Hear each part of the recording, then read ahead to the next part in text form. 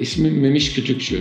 Hidrokon firmasının kurucu yönetim kurulu başkanıyım. 1997 yılından bu yana SAP ürünlerini kullanıyoruz. Strengths ürünlerini Strengths markası e, SAP tarafından e, lansmanı yapıldığı andan itibaren kullanıyoruz. Strengths ürünlerini kullanmaya başladıktan sonra daha hafif konstrüksiyonlar, daha yüksek kapasiteli makineler yapabilir hale geldik. Burada başarılı büküm, kesim ve kaynak operasyonları bizim için son derece önemli. Dolayısıyla o malzeme davranışları olarak Strengths ürünleri çok başarılı sonuçlar veriyor. Strengths ürünleriyle üretilmiş hidrokon makinalarını çok daha uzun süre müşterilerimiz kullanabiliyorlar. Strengths ürünlerine duyulan güven bizim makinalarımıza duyulan güven anlamına geliyor. Ve müşterimiz üzerindeki bu e, güven olgusunu desteklemek için Strengths ürünleri bizim için ciddi bir avantaj oluşturuyor.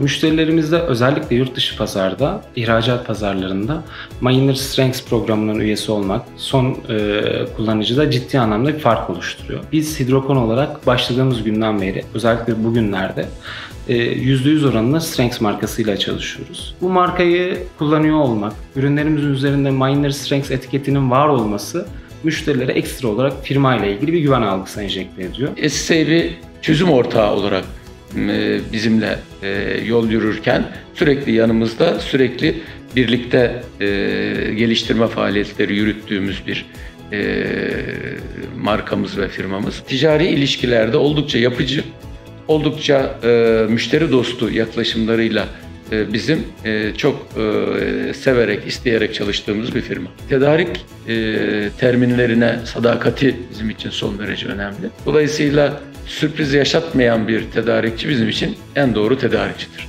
SSAB bütün iş ortaklarına bütünleşik bir hizmet sağlıyor. Gerek pazarlama anlamında, gerek marka strateji anlamında, yani e, gerek operasyonel bazda projeyle ilgili her türlü desteği SSAB firmasından alabiliyoruz.